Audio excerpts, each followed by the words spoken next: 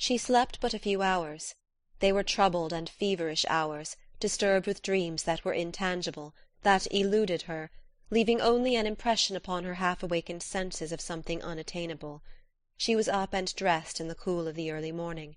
The air was invigorating, and steadied somewhat her faculties.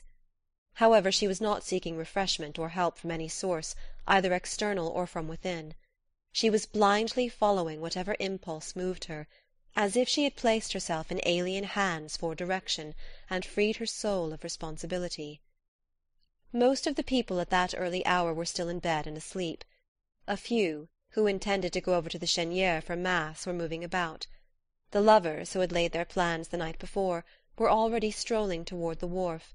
The lady in black, with her Sunday prayer book, velvet and gold clasped, and her Sunday silver beads, was following them at no great distance. Old Monsieur Farival was up, and was more than half inclined to do anything that suggested itself.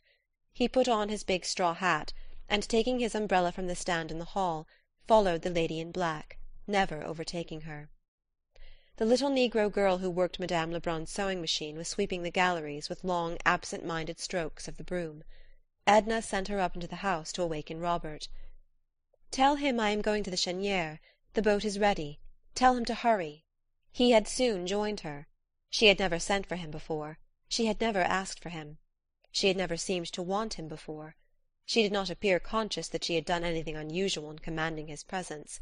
He was apparently equally unconscious of anything extraordinary in the situation; but his face was suffused with a quiet glow when he met her. They went together back to the kitchen to drink coffee. There was no time to wait for any nicety of service. They stood outside the window and the cook passed them their coffee and a roll, which they drank and ate from the window sill. Edna said it tasted good. She had not thought of coffee, nor of anything. He told her he had often noticed that she lacked forethought. "Wasn't it enough to think of going to the Cheniere and waking you up?" she laughed. "Do I have to think of everything? As Léonce says when he's in a bad humour. I don't blame him; he'd never be in a bad humour if it weren't for me."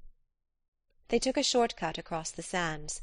At a distance they could see the curious procession moving toward the wharf, the lovers, shoulder to shoulder, creeping; the lady in black, gaining steadily upon them; old Monsieur Farival, losing ground inch by inch and a young barefooted Spanish girl, with a red kerchief on her head and a basket on her arm, bringing up the rear.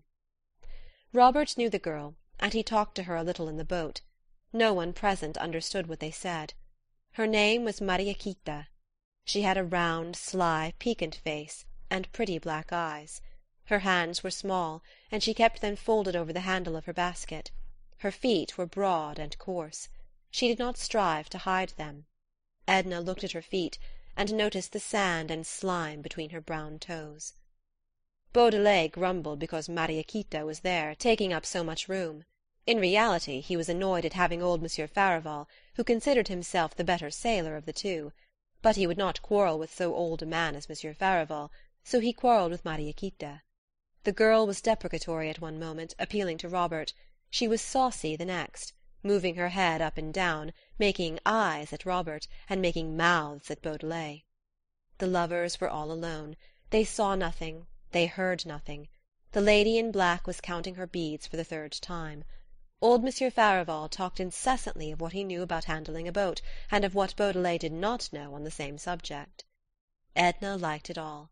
She looked Mariequita up and down, from her ugly brown toes to her pretty black eyes, and back again. "Why does she look at me like that?" inquired the girl of Robert. "Maybe she thinks you are pretty. Shall I ask her?" "No. Is she your sweetheart?" "She's a married lady, and has two children." "Oh, well! Francisco ran away with Silvano's wife, who had four children. They took all his money, and one of the children and stole his boat." "Shut up!"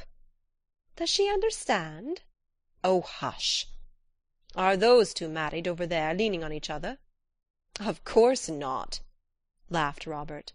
"Of course not," echoed Mariequita, with a serious confirmatory bob of the head. The sun was high up and beginning to bite; the swift breeze seemed to Edna to bury the sting of it into the pores of her face and hands. Robert held his umbrella over her. As they went cutting sidewise through the water, the sails bellied taut, with the wind filling and overflowing them. Old Monsieur Farival laughed sardonically at something as he looked at the sails, and Beaudelet swore at the old man under his breath. Sailing across the bay to the Cheniere Caminada, Edna felt as if she were being borne away from some anchorage which had held her fast, whose chains had been loosening, had snapped the night before, when the mystic spirit was abroad, leaving her free to drift whithersoever she chose to set her sails. Robert spoke to her incessantly; he no longer noticed Mariequita. The girl had shrimps in her bamboo basket; they were covered with Spanish moss. She beat the moss down impatiently, and muttered to herself sullenly. "Let us go to Grande Terre to morrow," said Robert in a low voice. "What shall we do there?"